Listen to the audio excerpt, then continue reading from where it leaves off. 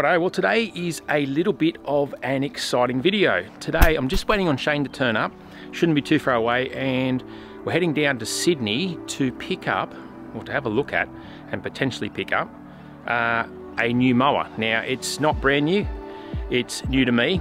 Uh, as I've mentioned in a couple of videos not too long ago, as all my areas over here and, and this area here continue to grow and continue to need real mowing, I need something a bit bigger to buy back a bit of time. So today, thought I'd bring you guys along for the ride. We'll head down to Sydney, we'll have a look at this mower, and um, I'm sure you'll be pretty impressed with it because I'm really excited.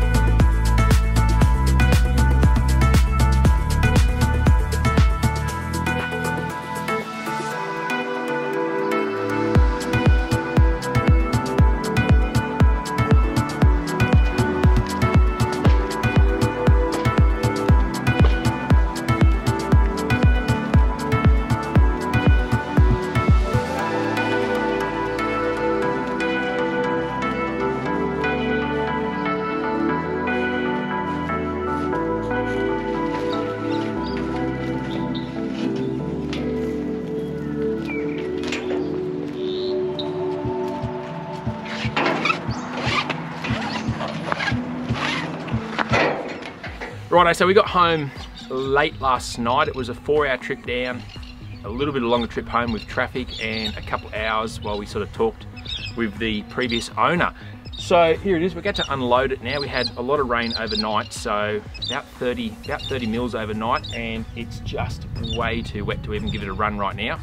So we'll unload it off the trailer, and I'll park it up around the back, and we might have a little walk around and have a look at some of the features of it.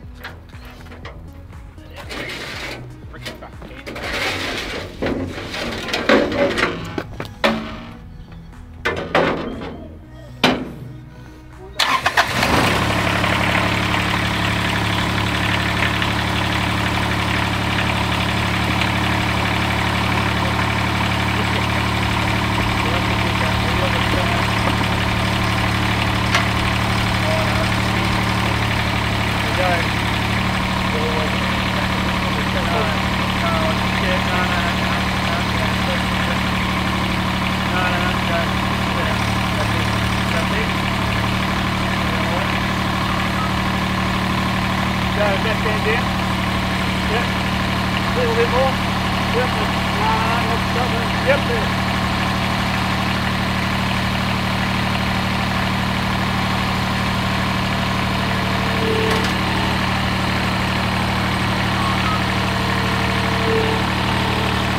Can you see that wheel? Hey, can you see that wheel?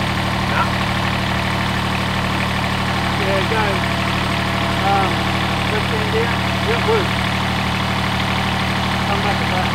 So you know when you say left hand down, that's reverse on this. Right.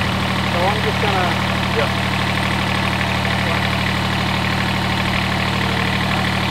Yeah, there.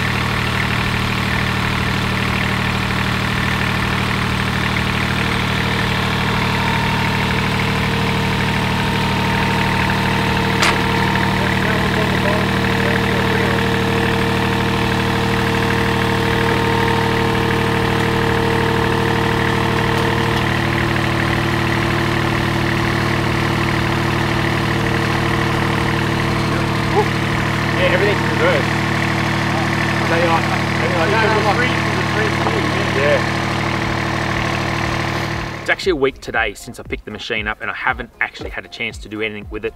And I, I did actually have another part of the video filmed, but when I was playing through the edit, I didn't really like it. So I thought I'd do the walk around part again. Uh, I noticed, I put a few little teaser videos up and a few people said, oh, you know, it's the same as, as the mower that Connor's got. Now, it's not exactly true. It's similar in the sense that similar design, three reels, three wheels, etc. So the basic difference is this here is a Toro Greensmaster 3250 and these are built predominantly to big greens mowers um, but then some courses will actually use them on tees when they've got a really high quality tee. Um, and whereas something like what Connor's got is probably more predominantly tees and fairways so it's a more heavy duty machine. This is more a precision machine. The 3250 such as this one and the 3150 which is a petrol variant will cut a little bit cleaner but the other machines are more rugged and more durable on rougher terrain. So that wasn't really something that bothered me. I was after the quality of cut, so that's why I specifically was looking for a used uh, greens mower. So they're, they're the main differences, but essentially, um, yeah, I look for the casual observer, very, very similar machine. Uh, let's have a little walk around. I'll take you around some of the features and at the end of the video, I did actually end up getting a, uh, having a bit of a play uh, on the front yard with it even though nothing was coming off due to the height. But let's just have a look around at it and I'll show you, show you some of the features and uh, some of that sort of stuff.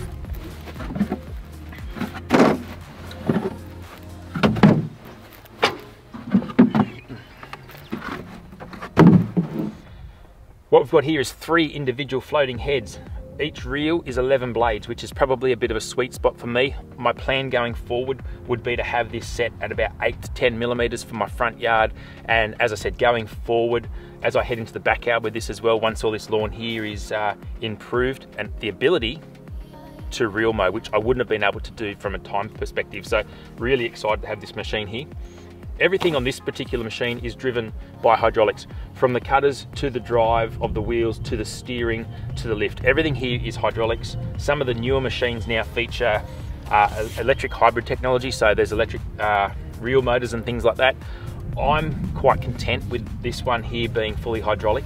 Uh, it's just less to go wrong in, in a uh, electronic sense and getting hydraulic parts for me around here is far easier than trying to source potentially expensive uh, electric components. So happy with that. Drive is to the two front wheels and third wheel drive is available as an option on steeper ground. Now here I don't think I'm going to need to go down that road but um, it's nice to know if I want to fit it later on I, I, can. So we'll just wait and see how that plays out on the, particularly the house side of the front. It's a bit steeper, but uh, it should be it should be okay. But we'll we'll wait and see. One thing I did forget to mention actually uh, when we're talking about the reels, this machine has been actually fitted with the optional rear uh, roller brush. So when the reel turns around, this these brushes here are also connected by a little belt and they just basically keep the roller clean of any grass and buildup and that basically, especially on a green situation, it, it keeps the um, it keeps the thing cutting at the correct height. So that's a really cool little feature to have. That's not standard, it is a factory option, but um, yeah, pretty happy it's on there. So first plans for me will be obviously taking these reels off, send them, sending them down to be ground. I want to start this season off 100% uh, right.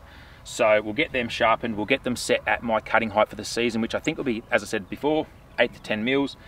I'm going to order myself a new seat through Scone Outdoors. And that was one of the reasons uh, I wanted a Toro machine well, one of the reasons, mainly this is one of the machines I used to spend my days on when I was a greenkeeper. So we actually had the 3100, which was the model before this. Uh, and I remember as an apprentice, one of these came out to us one day for a demo. So yeah, I'm really, really familiar with these machines and I, I, sort of, I guess, had an attachment to them and I wanted to get one. So that's why I looked at that over other brands. So yeah, I'll order a new seat.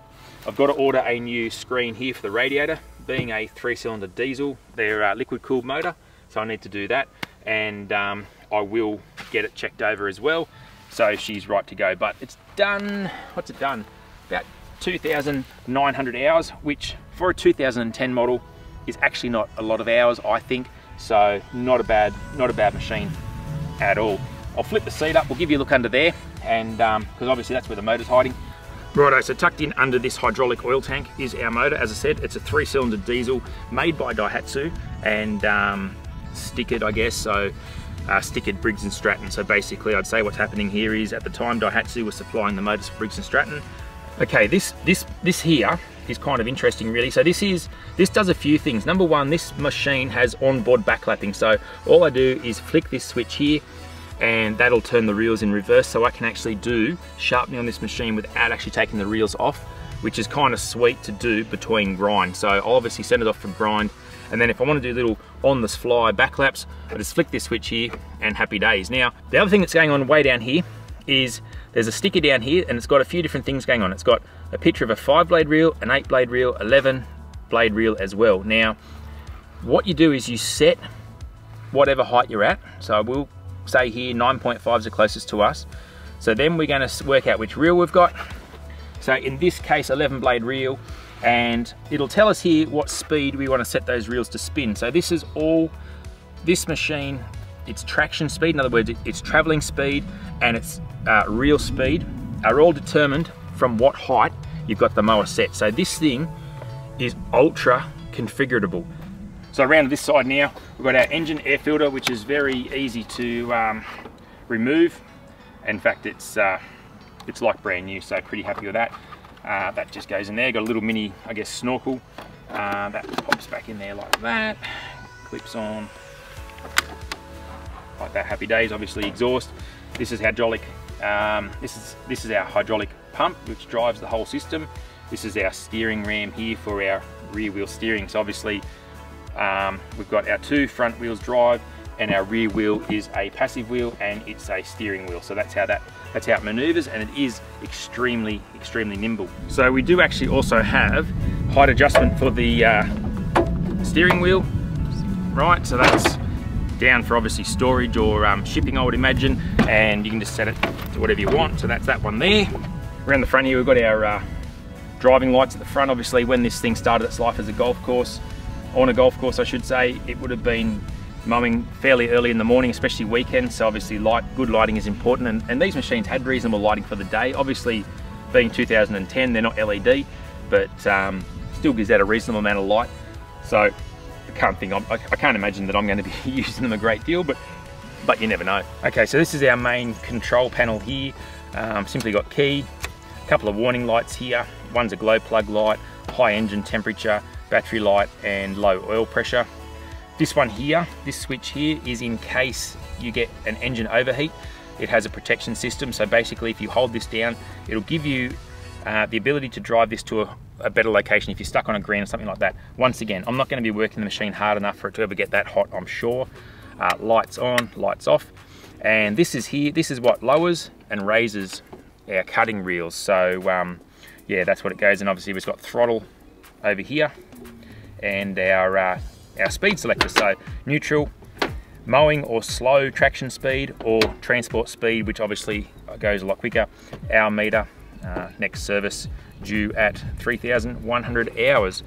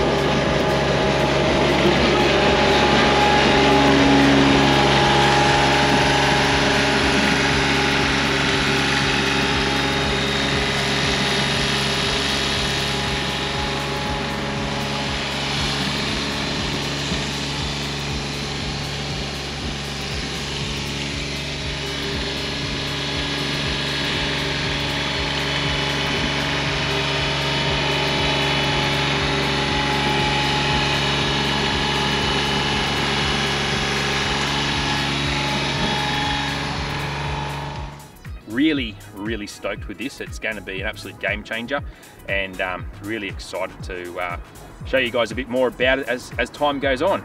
Anyway guys, look, we'll wrap the video up here. Hope you've enjoyed my little trip to Sydney to pick up a new toy and we'll catch you here next time on the Aussie Lawn.